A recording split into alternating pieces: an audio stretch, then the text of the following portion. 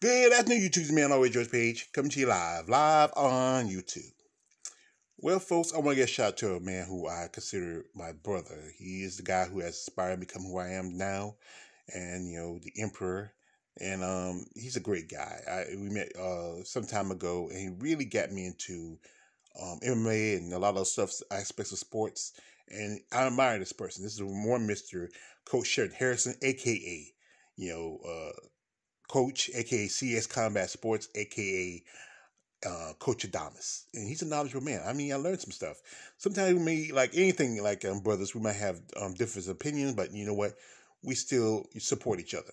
So anyway, a while back, um, my, my brother, the coach, he posted uh one of his live streams. We talked about a situation that happened, um, I think over the weekend some time ago, and this is something that people need to hear. And if you hadn't heard about it, you should hear it now.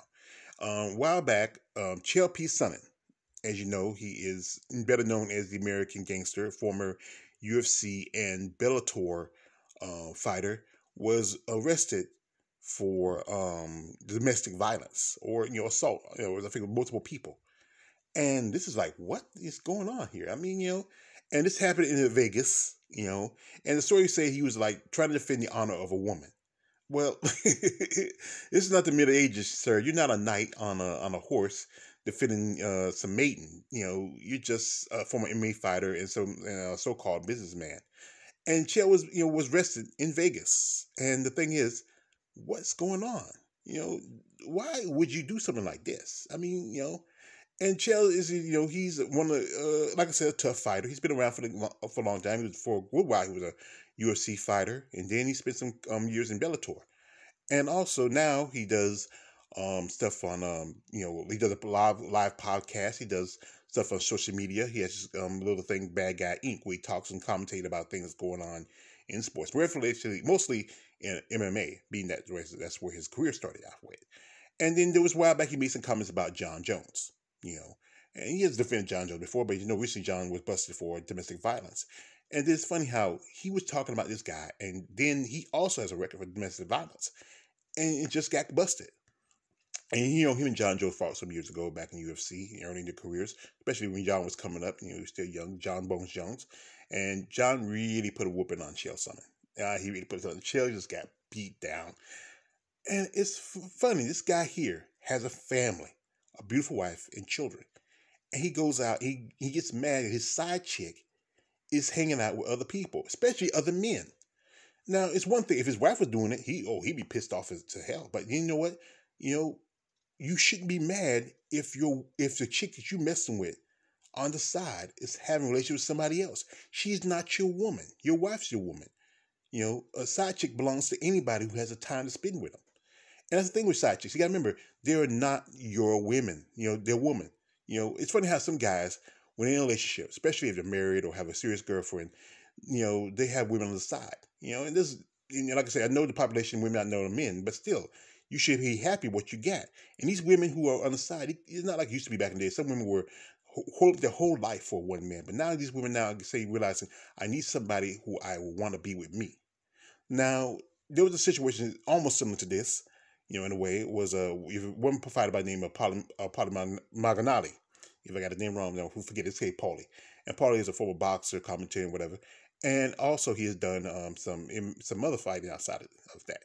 He had an ex girlfriend, and Paulie got a little jealous about she was hanging around with another boxer by the name of Adrien Broner. If you know Adrien Broner, he's a you know he's been around. Adrien's a character. Remember he got in the fight when he thought he won, and they were fighting some time ago, and Adrian mentioned that you know he was messing with Paulie's ex girlfriend. And he gets mad about that. He already had a wife, I think, and, uh, and another girlfriend.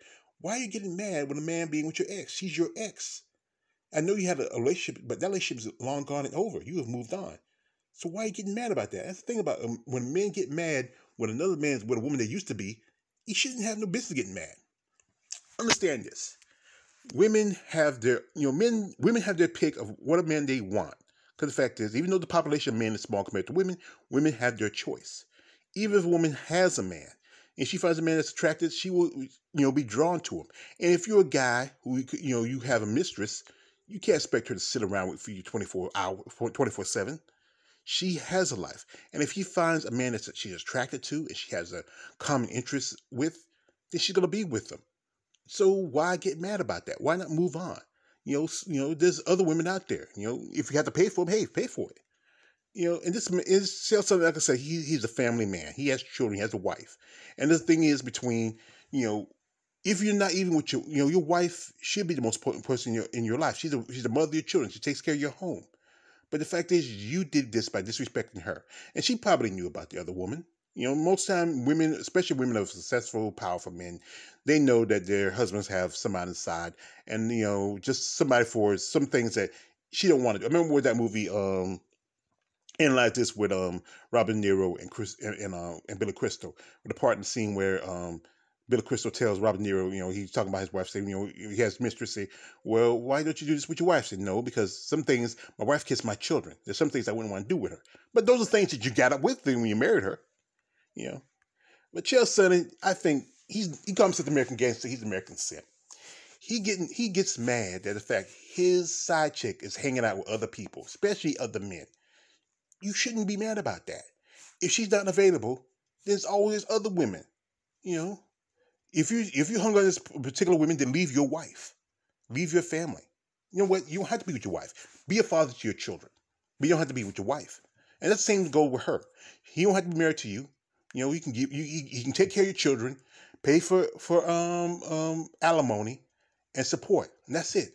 You can go on with your life. But you gotta be careful. Sometimes these guys, you know, it's funny how some of these guys who have this double life, having a wife on the side and a girlfriend, have a wife and a girlfriend on the side, and it just it's not enough for them. You know, some people like me, I'd be happy to have one woman. That's enough. I don't. I would. The headache of having two women is too much. I don't know how these fools do it. But like I said, chill. I know. I'm. I think by now he's already on bail. You know, being that he's he's he has a decent amount of money. His wife probably bailed him out. I wouldn't have done it. You know, let him sit in jail for a while. You know, let him enjoy the um the uh pen, opinion uh, the the penal center, uh, the jail system. You know, even though he's, he's a tough fighter, but you know what? Hey, you can't fight everybody, Chael. And sometimes, hey, numbers count. And you gotta be careful, Chael. You might be, you know, call yourself Shell. You might be Shelly. but again, fellas, understand when you are involved, you have a wife. It's no, it's, it's it's enough. That should be enough for you. You know, and don't use that excuse. Oh, I'm a sex addict. No, you're not a sex addict. You just like to have sex with somebody else that's not your wife. Just admit that. That's the truth. But like I said, you know, have respect for yourself and your relationship. Don't be chasing after women who are free in the mindset. They're not committed to you. You don't have a ring on their fingers. You're not in a real relationship. Don't get mad if they want to spend time with other men. Somebody who's single, who's available. Maybe they even eventually might, you know, say, you know what, the relationship is over. I want to be with this person who wants to be with me. So, you know, I hope you enjoy your um your time in jail, uh, jail. More likely, when they do go to court um, with this uh, case, they're gonna probably give him some, you know, like a you know, like a probation, you know, because but he does have a record. You know, if you, if you all gotta do is check, is some of this stuff is public um, information, you know, but you know, it's just how it is with society. If this was somebody else, like like somebody like Jon Jones or any kind of uh, athlete or celebrity of color, you know, the system would go on harder than is than anybody else of non-color. Should be on the way, George Page. Um, like, don't like, subscribe, subscribe. I'm out.